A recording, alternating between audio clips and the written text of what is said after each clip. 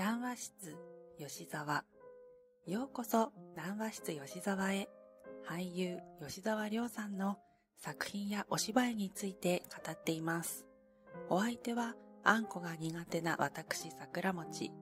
ピアノは友達のういろうさんときびだんごさんです。それでは本日も勝手な推し語りにどうぞお付き合いください。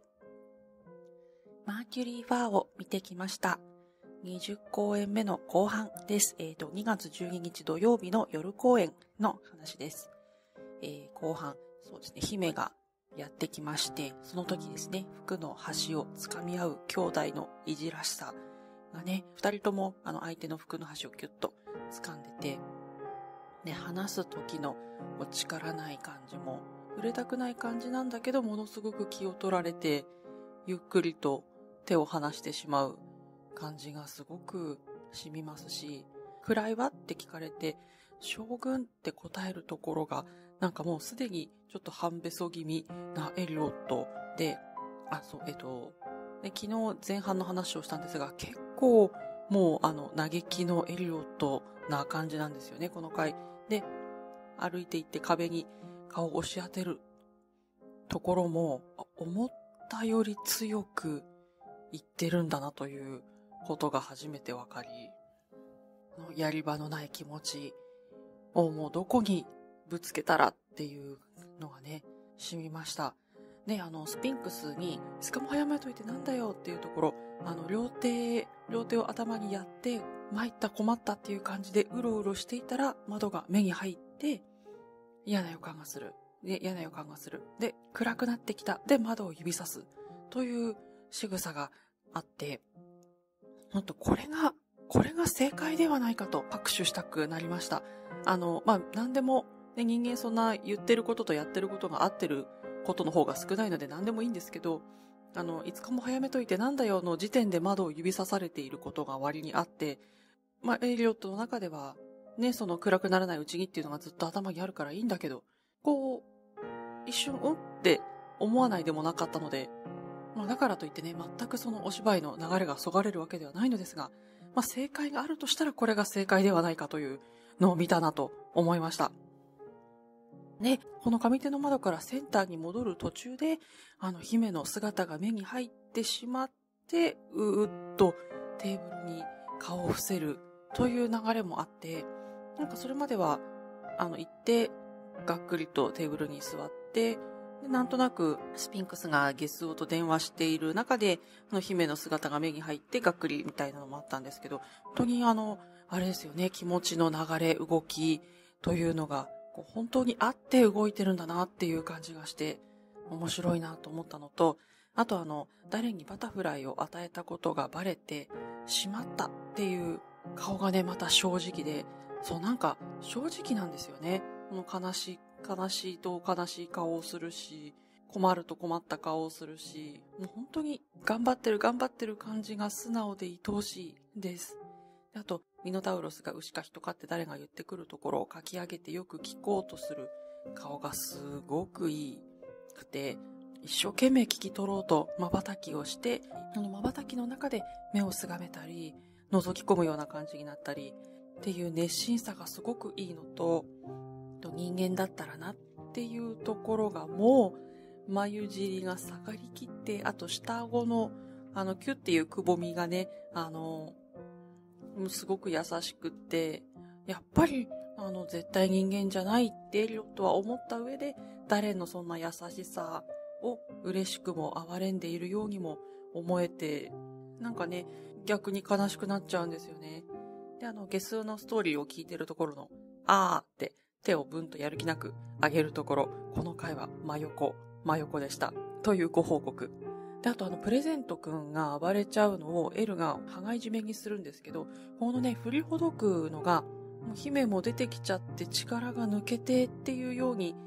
見えることもあったんですけど、プレゼントくんの暴れっぷりが良くって、なんか本当にリアルに振りほどかれちゃったみたいな感じで、おおと思ったのと、今度は姫を押さえつけなきゃいけないところがもう当に本当に必死で、あの顔とかも赤らんで全力っていう感じでね、もう演者さん同士体当たりで、ね、この、まあ、ここもそうだし、格闘シーンとかもそうですけど、本当に体ごとぶつかっていってやってらっしゃるんだなって、命を懸けた戦いを毎回やってらっしゃるんだなと、すごく胸を打たれたのと、あとね、爆撃の話を聞くところになると、もう、もうあんてここにはいないんだもんな、のあたりも、もう、なんか涙声で、あの、誰も病院にいたというところでは、もう、クっていう感じで顔を背けて、もうぐすってなってて、ローラを兵士にっていうあたりでも嫌っていうのが涙声で、ね、パーティープレゼントの服脱がせてこいの後にぐいっと涙を拭ってやるんだよっていうのが誰にもだけど自分にも言い聞かせてる。んですよね。なずにエリオットって救いを求められているのがぐさぐさエリオットに刺さってるのがわかる表情。あの、前髪の奥でエリオットの目から光がどんどん失われていって、ついには見ていられずっていう感じになるのが、ね、最初はナズのことも始末、秘密を知ってしまったから始末しなきゃいけないと思ってたかもしれないけど、ね、やってるうちにやっぱり可愛いやつだし、仲間みたいな気持ちが出てきちゃってたところに、やっぱり意見ゲにしなきゃいけないっていうところで、あの、エリオットのね、気持ちの動きが、目から光が失われていく感じが、がわかるっていうのが、もう気が遠くなるほど刺さりました。看病してる時も、もうぐすんぐすんどころか、うーっていう、もはや同国すでに。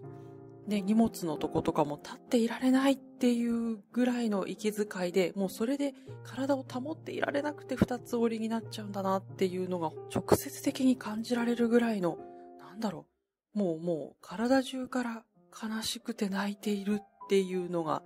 噴出してる感じで、で、あと火をつけた後後ずさりするところも立ってるのがやっとというか、もうぐらりと倒れそうな感じに、のところもあったりして、銃を出して、もう最初から泣いている顔のそばに寄せたりして、誰の掴むんだっていう言葉で本当に泣き崩れる。文字通り泣き崩れてしまうのを誰が引っ張り上げるっていうね、言葉でもそうだけど、ダレンが腕でもエリオットをなんとか引っ張り上げようとするけど、崩れていくエリオットっていうのがたまらないですし、最後もぜいぜいぜいぜい聞こえちゃうぐらいの号泣から構えて、一番最後の高音のフラッシュの、あの、もう身も世もない号泣から、なんかゆっくりと穏やかな顔に戻っていくところで暗転っていう気がして、あの、いい意味の穏やかなのか、絶望しきった穏やかなのかは、まあ、あの、それぞれに委ねられているところだと思うんですけど、なんとなく、あの、そこまで本当に身も世もなく泣いて儚い感じだったエリオットが、その瞬間、がっしりと立っているように見えてぐらぐらしていたのに、それがまた一つ考えさせるなぁと思いました。で、あのカーテンコールで出ていらした時も、まあ、表情はエリロットと吉沢さんの間な感じだったんですけど、なんとなくですね、まあ、私の席の位置からは目がちょっと赤いように見えたりして、やっぱりむちゃくちゃ泣いた回だよなぁと思ったりいたしました。はい。というところで、今日はここまで。明日は21公演目思い返したいと思います。よろしければどうぞお付き合いくださいね。それではまた。